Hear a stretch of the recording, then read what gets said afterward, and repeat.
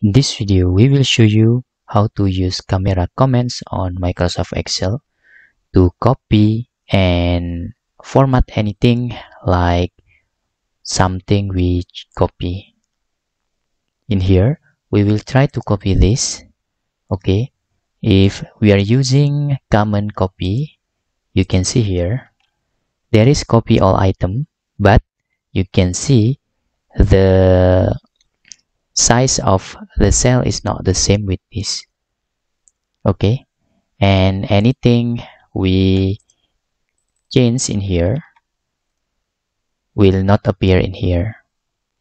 How we can uh, do if we copy all of this data and the format the size of the cell or etc we change in here will also change in here to do that we can just using camera command in here.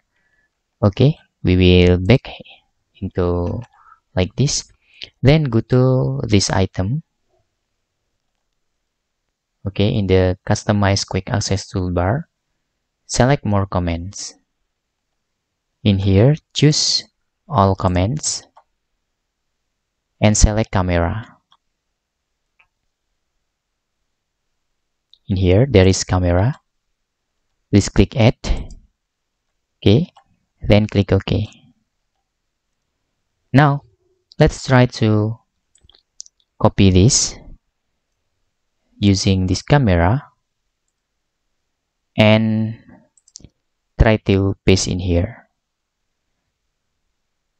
You can see here your camera will mirroring uh, this item if we type in here or change the data in here now it also changes. Okay.